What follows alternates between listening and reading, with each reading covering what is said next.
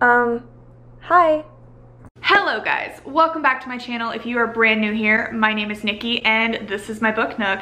Y'all, today I'm finally doing my first ever book recommendation video centered around a specific trope. You guys have been asking for these for so long and I'm finally here to deliver. Today we are talking about books that contain the trope of touch her and you die. You guys might be thinking, you know, this is the first trope video you've done and this is the one you choose. Are you okay? The answer is no. Um, no, I'm just kidding. I'm fine most of the time. But really, in all honesty, this is not a trope that I like necessarily seek out or need or want in every single book that I read or anything like that. But it just so happens that so many books that are my favorites and ones that I end up loving all just kind of happen to contain this trope fairly often. So this list was really easy for me to compile. You might be thinking that you know, all these books are gonna be like the exact same thing, like they're all gonna be mafia romances and that's just like boring.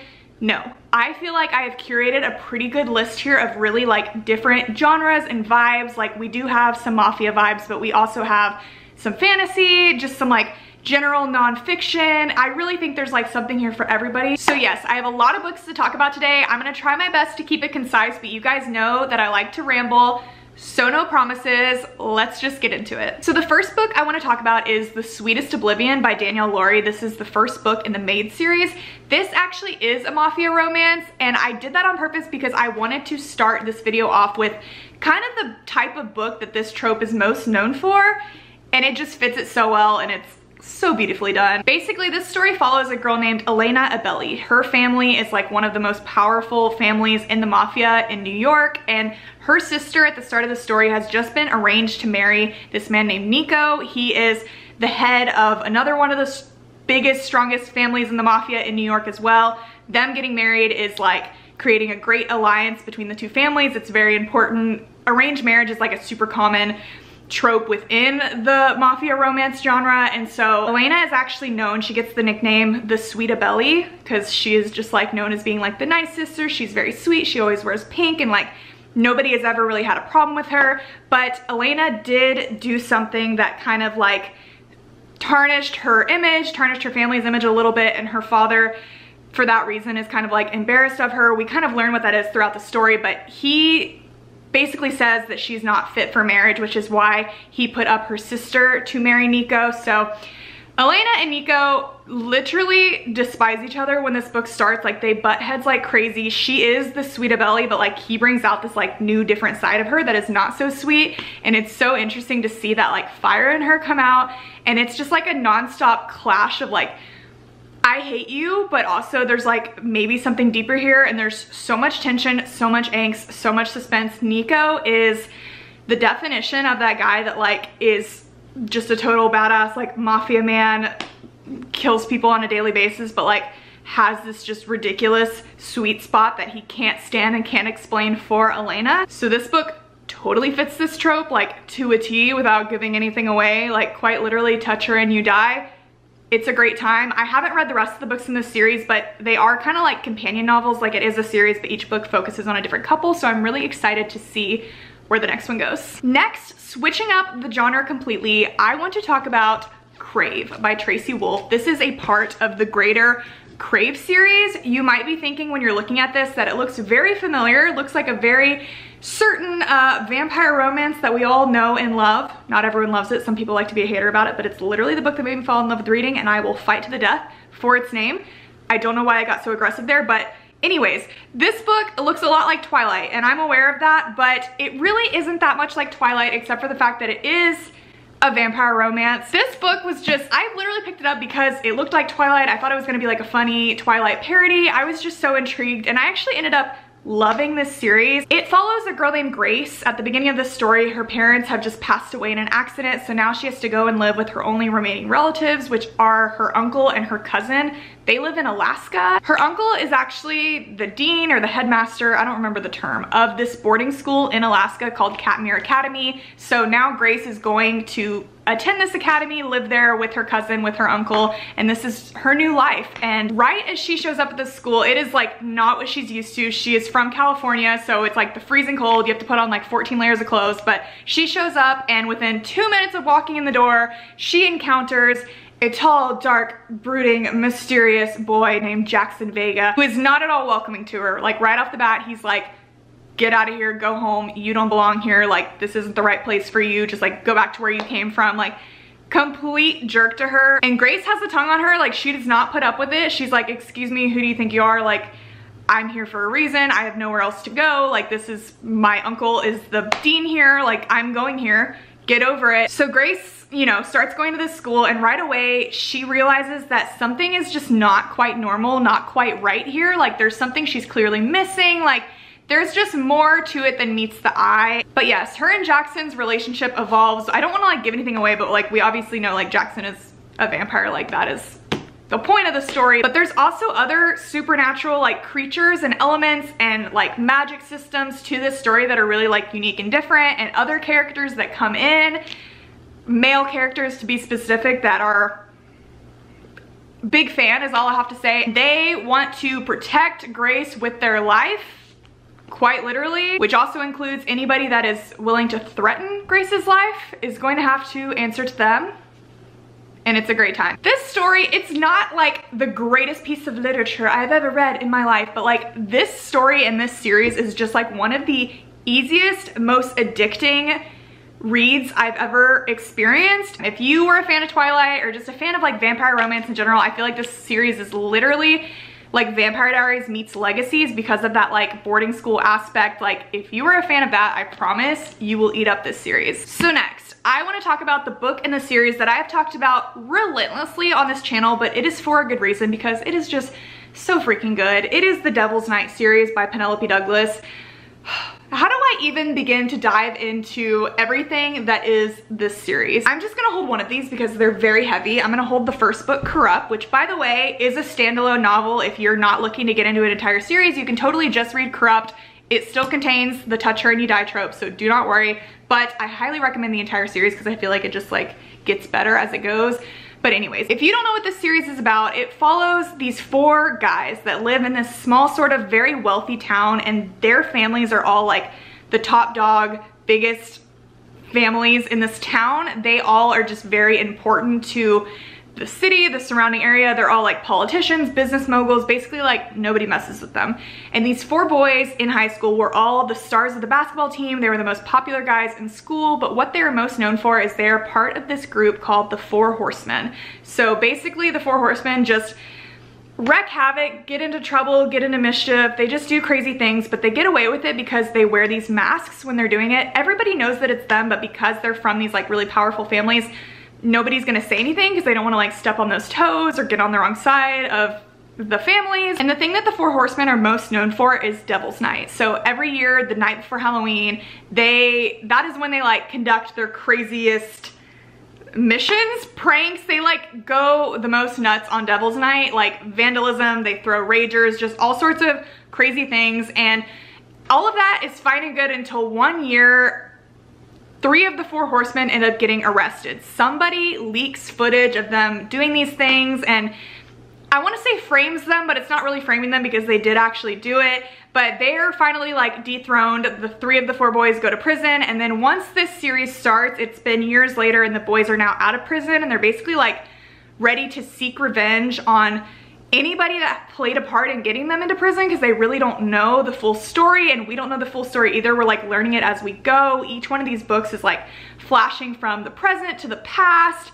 It's a whole journey, but each one of these guys has an involvement with a different girl that all kind of centers around that Devil's Night and it is just a whirlwind crazy web of a story. Each one of these books focuses on a different one of the four horsemen and a different relationship they have with a different girl. And this series literally contains like every trope under the sun that we love, like enemies to lovers, boyfriend's older brother, childhood friends to lovers, forced proximity, best friends or brother's best friend. Like it's literally everything, everything you can want. It is so spicy, so just like the best of spice that I've ever read, but also just like the best, most captivating, suspenseful story I've ever read. But the one trope that does like go across all of these books is for sure touch her and you die. All of these guys are just total like badasses. Nobody messes with them. They don't have any regard for anybody's feelings or anything that they do, but they all have a soft spot for just one girl.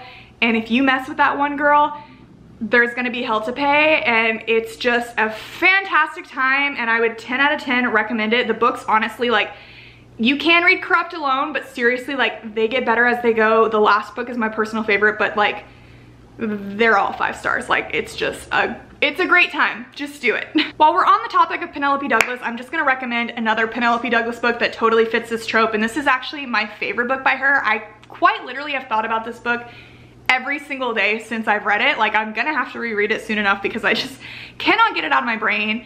It is Credence. I'm just gonna say right off the bat, this book is not gonna be for everyone. Like it is without a doubt the most bonkers, wild, just uh, insane book I've ever read that I can't even believe exists. But I'm so happy that it exists because it just, oh my god. Basically, the story follows this girl named Tiernan. Her parents have just suddenly passed away and Tiernan's had a very interesting upbringing because in a lot of ways she was spoiled. Like her parents were very rich sort of celebrities. So she has always had like everything she wanted. She's always lived in a mansion. But the one thing she never really had was like true love from family members because her parents were always like busy. She wasn't a priority for them. She's kind of always just been like on her own. So when her parents pass away, Tiernan believes that she is totally on her own. She's only a couple weeks away from turning 18, but she doesn't believe she has any living relatives until she gets a call from her uncle. And I put air quotes around uncle because he, they don't have any blood relation. He is her dad's stepbrother and they did not have a good relationship with each other. They like literally never hung out. Tiernan had heard of Jake in passing, but has never met him, doesn't really know anything about him. But Jake pretty much calls Tiernan and lets her know like he knows what happened and she's more than welcome to come and stay with him and his two sons if, you know, she doesn't want to be on her own. And Tiernan ends up agreeing. Jake and his two sons, Noah and Kaleb, live in this small town in the mountains in Colorado where it literally gets snowed in six months out of the year. And I physically don't have words for this book. I have an entire spoiler-free review. I'll actually like link right here if you want like a more in-depth explanation of it. But basically, I mean, Tiernan gets to learn what it's like to be a part of a family in a way, be around people that actually like care about you, but also, you know, realizing that everybody has to pitch in and kind of learns to fend for herself because she's living in this like country in the wilderness. And there's a major forced proximity trope to this story, but more than anything, each of these guys, like they've always just lived the three of the guys together. And now there's this girl and she is like fresh meat in this small town and they are willing to protect her with everything, quite literally touch her and you die. All of the men, Jake I will mention is like very young for an uncle, like he's like only in his 30s, like late 30s, and then um, Noah and Kaleb are around Tiernan's age, like a little older, but um, they all grow a very deep fascination and interest and uh, feelings uh, for Tiernan. I literally, I don't know how to speak about this book, but it's wild and it's so good. Like I know it just sounds like it's like a crazy fest, but truly like the ending of the book kind of made me cry. Like it has a beautiful ending and the whole ride is just crazy, but touch her and you die for sure and just like it's great. so the next book I want to talk about is something totally different than I've ever done or talked about on this channel because it is actually a Wattpad story. I know Wattpad gets a bad name, but truly there are some of the most like talented writers on that app. Like I don't understand why they give us our talent for free. The amount of work and effort that goes into writing a book is insane and the fact that they just like give it to us I will forever be thankful for it. In a lot of ways, I like grew up on Wattpad. I still to this day read Wattpad stories. I don't really talk about them on my channel that much because I'm not consistent with it and it's all over the place and they're all basically Harry Styles fanfics. Like I literally have no shame and not everybody wants to hear about those. But I am gonna talk about a Harry Styles fanfic right now because it fits this trope so perfectly. And when I was putting this video together, like I couldn't stop thinking about this. So I'm like, screw it. I'm just gonna tell you guys about it. It is called Stall and it is by Mystery Mixtapes on Wattpad. I'm definitely going to link it down below if you guys are interested in reading it. This is probably I think definitely my second favorite Harry Styles fanfic of all time. The first favorite does not fit this trope at all, so that's why we're not talking about it. But anyways, if you're not familiar with like Wattpad or the fanfic world, this story is an AU, meaning it's an alternate universe. So essentially like, it's just a book. Like it, it's nothing to do with actual Harry Styles. It's just a completely made up story and a made up world. I mean, it's in Australia, but you know what I mean. It's not Harry Styles. It's just you picture the main character as him you know? Are we on the same page? I just want to put that out there.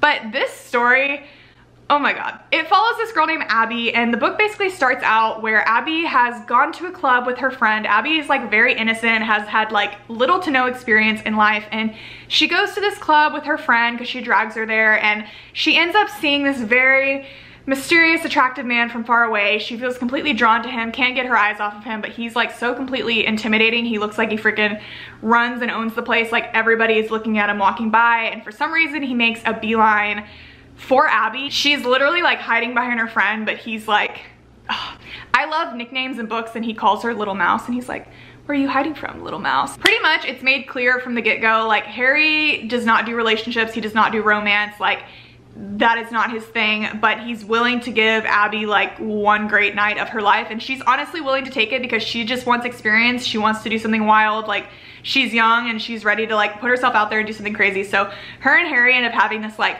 one night stand that we don't really get to see a lot of because it's revealed more later in the book. But they have this one night stand and it's like a very memorable thing. But then the book fast forwards a few years and Abby now is in a relationship with someone new and she is a photographer like that's her job that she's always loved and like wanted to do and she ends up walking down the street and getting a text that's like I spy a little mouse and it's in a whole new like city but basically like Harry sees her from his apartment and he asks her to like come up there and so this is where they've like reunited and Abby has obviously no interest in Harry because she now has a new relationship but Harry is very freaking persistent with her and he wants her to come and take pictures and be a photographer for that same club that they were at originally.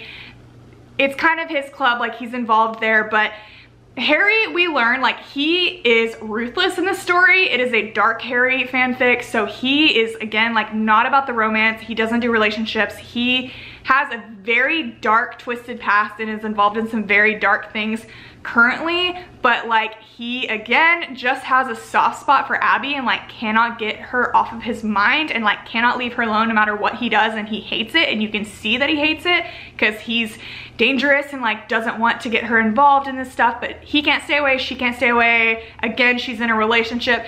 It's just a whole like ridiculously suspenseful journey. Like this story is so freaking good. Like I read the entirety of it so quickly. Like I did nothing with my life for like the few days that I read this story. It was so good, but 100% again fits this trope.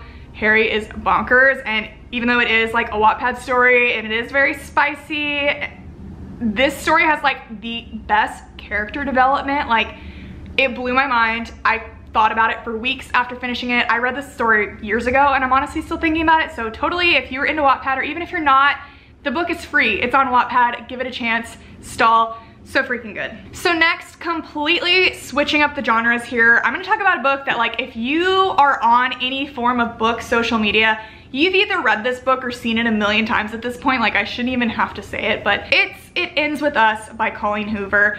This is completely different from any book I've talked about thus far. And if you haven't read this yet, you're like, touch her and you die. Like how does this fit in this trope? I assure you that it does pretty much just like basic synopsis. This book follows a girl named Lily and we're pretty much seeing two love stories happen in this book at one time. Her present day love story with this guy Ryle that she just met.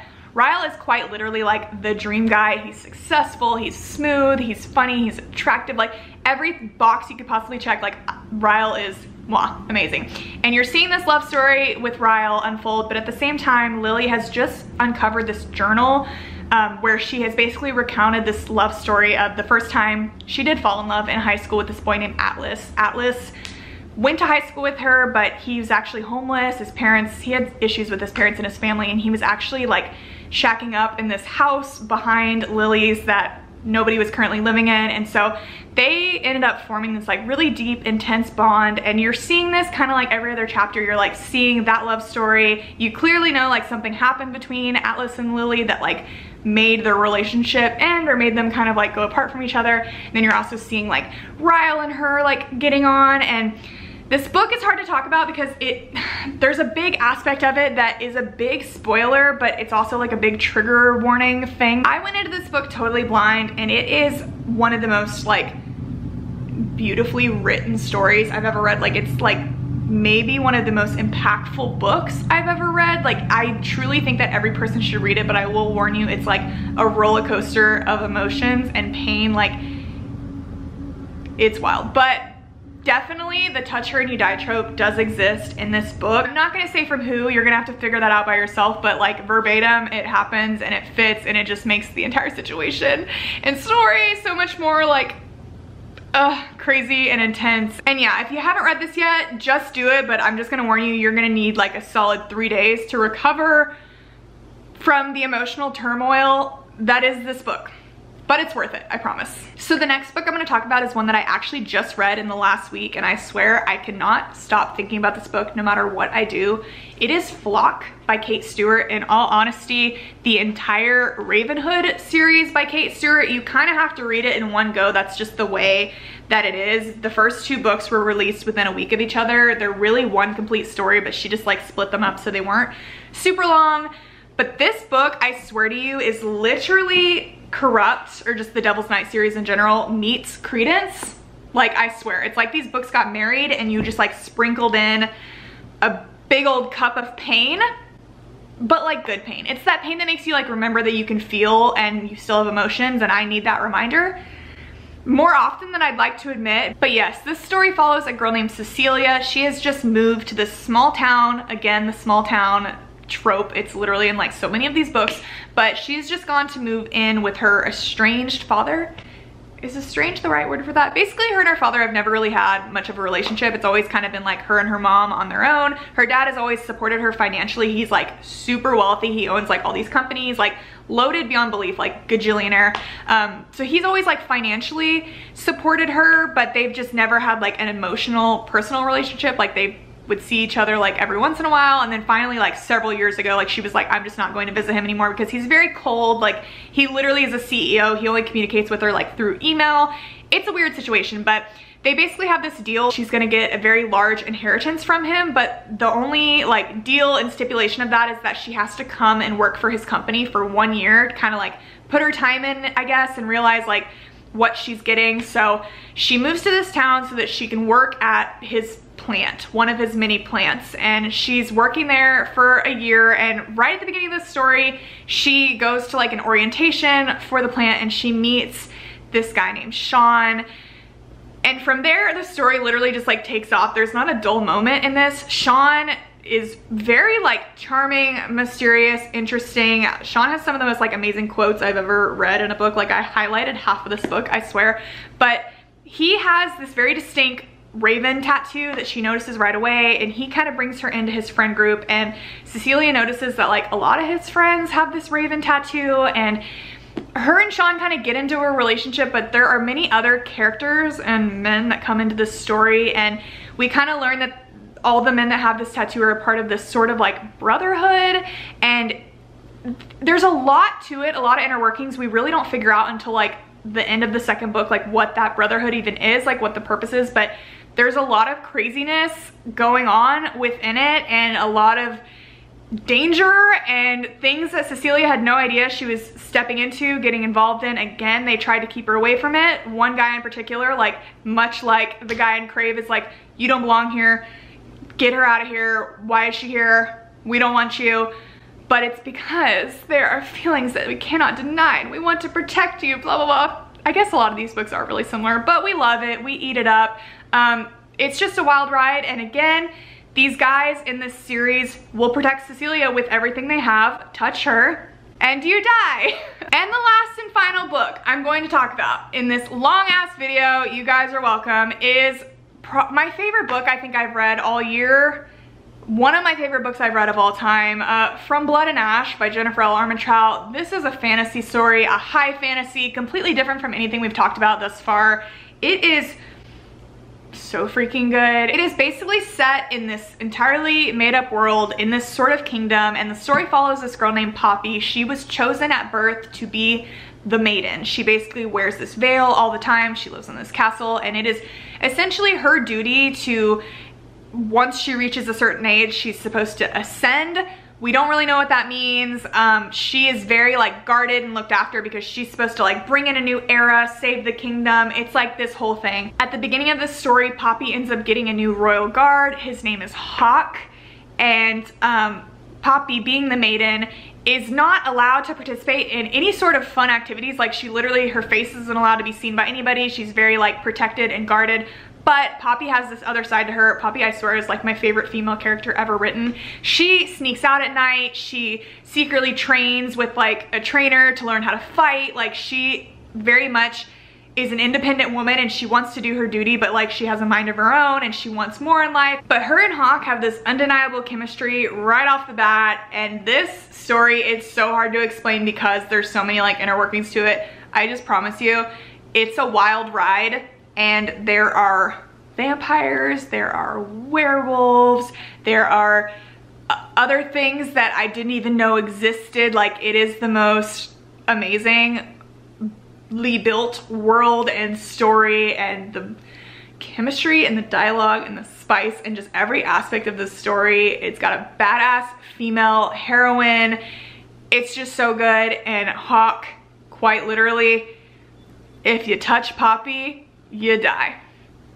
Are we sensing a theme here? It's just so good and I wanted to include another fantasy book in the series if that's your thing. If it's even not your thing, I've been trying to get everybody to read this book the entire year since I read it. It's like one of my most watched videos on this channel, my review of this. So if you haven't seen that yet, maybe go watch it if you want me to convince you further. But yes, guys, that is my touch her and you die trope book recommendation video. Um, I said I was gonna be brief and I wasn't brief at all. So if you've stayed to the end, you're a real one. Comment down below if you made it until the end actually. I'll give you a little heart or something. I don't know what else I could do for you, I'm sorry. But yeah, if you guys want any other specific tropes, if you have any requests, like let me know. I would totally be happy to do those. I have a few in mind already that'll be coming up. I have a bookshelf tour coming up. You guys literally message me and comment about it every single day. I promise I'll get to it. Um, follow me on Bookstagram if you haven't already. That's where I give all my updates of things going on and just daily interactions. It's a good time over there. But yeah, I need to stop talking. Thank you guys so much for watching and I will talk to you very soon. Bye! Thank you.